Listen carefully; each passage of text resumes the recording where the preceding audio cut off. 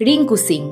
ভারতের পঁচিশ বছর বয়সী এই ব্যাটারের আইপিএল চলতি আসরে অভিষেক হয়েছে। দুর্দান্ত ব্যাটিং পাওয়ার দেখিয়ে প্রত্যাশার রাস্তা ধরে এগিয়ে যাচ্ছেন প্রতিদিন।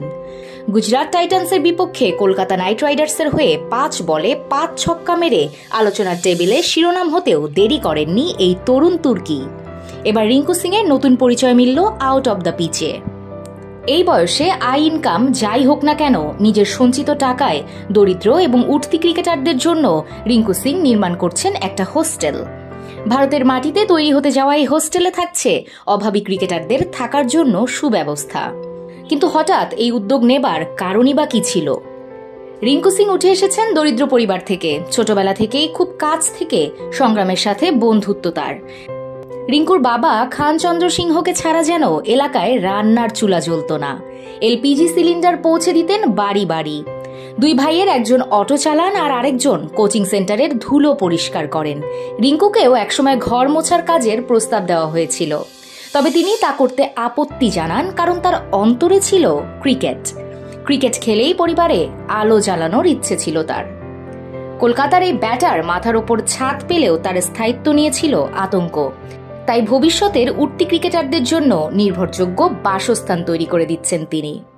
আলিগড়ে থাকা রিঙ্কুর ছোটবেলার কোচ মাসুদুজ জাফর আমিনি বলেছেন তরুণ ক্রিকেটারদের জন্য একটা হোস্টেল তৈরির স্বপ্ন ছিল রিঙ্কুর তবে স্বপ্ন পূরণের আর্থিক সঙ্গতি ছিল না তখন। এখন আর্থিকভাবে ওর কোনো অসচ্ছলতা নেই তাই হোস্টেলের কাজ শেষ করতে চাইছে।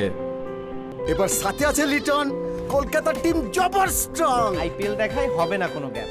যদি থাকে স্পোর্টস অ্যাপ থাকো তুমি যেখানে সব খেলা এখানে। সবকিছু ঠিক থাকলে আগামী কয়েক মাসের মধ্যে দাঁড়িয়ে যাবে রিঙ্কু সিং এর এই স্বপ্নের প্রজেক্ট আলিগড়ে একটি ক্রিকেট স্কুল এবং একাডেমি চালান রিঙ্কুর কোচ আমিনি। সেটি সরকারি মালিকানার পনেরো একর জমির ওপর অবস্থিত। সেই জমিতেই তৈরি হচ্ছে হোস্টেল প্রায় পঞ্চাশ লক্ষ টাকা খরচ হচ্ছে সেখানে। আমিনি বলেছেন তিন মাস আগে থেকে কাজ শুরু হয়েছে। কলকাতায় যোগ দেওয়ার আগে রিঙ্কু খুব কাছ থেকে কাজ খতিয়ে দেখেছে। হোস্টেলে মোট চোদ্দটি ঘর থাকবে। প্রতিটা ঘরে চারজন করে ক্রিকেটার থাকবেন। একটি শেড এবং একটি প্যাভিলিয়ন তৈরি করা হচ্ছে সেখানে। আলাদা শৌচাগার থাকবে রুমের বাইরে, একটা জিমনেশিয়ামও থাকবে হোস্টেলে। একটা ক্যান্টিন থাকবে যেখানে সুলভ মূল্যে পাওয়া যাবে খাবার। হোস্টেলে থাকতেও খুব সামান্য খরচের সুবিধা রাখা হবে।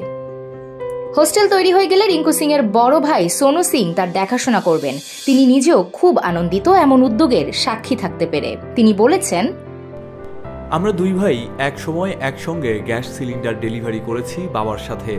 তবে আমরা সব সময় চাইতাম রিঙ্কু ক্রিকেট খেলুক। যে ত্যাগ সে করেছে তার কারণেই আজ সাফল্য এসেছে। আমাদের শুধু দারিদ্রতা থেকে সে বের করেই আনেনি, বাকিদের কথা ভেবে হোস্টেলও তৈরি করে ফেলেছে। রিঙ্কু সিংকে নিয়ে গর্বিত তার পরিবার। এবার গর্বিত হতে পারেন ভারতীয়রা। অন দ্য পিচে নিজেকে মেলে ধরতে শুরু করেছেন। এবার পিচের বাইরে দরদি হিসেবে রিঙ্কুকে আরেকটা নাম দেওয়াই যেতে পারে। ফারাজি মালিহা অনফিল্ড